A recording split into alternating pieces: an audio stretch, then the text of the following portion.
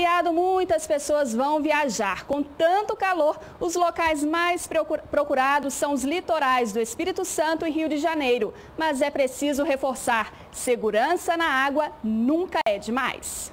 Quando as temperaturas sobem, vale de tudo para dar uma refrescada. E já que Minas não tem mar, o jeito é procurar os lagos, açudes e cachoeiras mais próximos. O problema é que às vezes o momento pode acabar em tragédia, dependendo do lugar.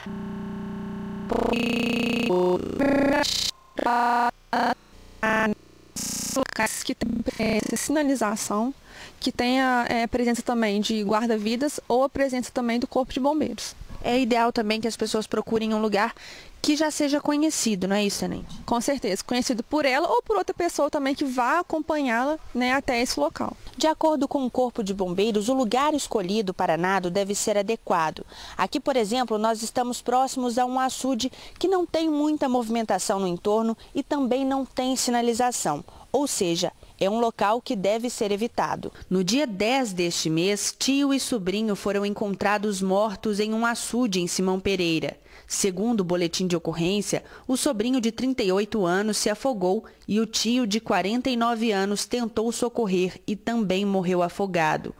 Uma das recomendações dos bombeiros é não entrar na água para tentar ajudar ao perceber um afogamento. Quando a gente vê alguém se afogando, a primeira, é, um primeiro ímpeto que a pessoa tem é tentar ajudar, então é tentar entrar na água para ajudar essa pessoa. Então nós não recomendamos que a pessoa entre na água para ajudar uma outra pessoa. A nossa recomendação é que a gente jogue algum material, por exemplo, alguma corda, alguma boia, um pedaço de bambu também, que dê para acessar aquela pessoa, para ela segurar e a gente puxar essa pessoa, nunca entrar dentro da água. Além disso, outras recomendações são importantes para evitar que acidentes aconteçam. Não entrar na água se estiver ingerindo bebida alcoólica, não se afastar muito da margem também, como ela não conhece aquele local, ela se afastando, pode haver ali algum buraco que ela caia e depois não consiga sair. Cuidado também com as crianças, não deixar as crianças brincarem sozinhas, os pais sempre atentos né, com as brincadeiras das crianças e também as brincadeiras de mau gosto. Evitar essas brincadeiras, que são os caldos, né, os empurrões,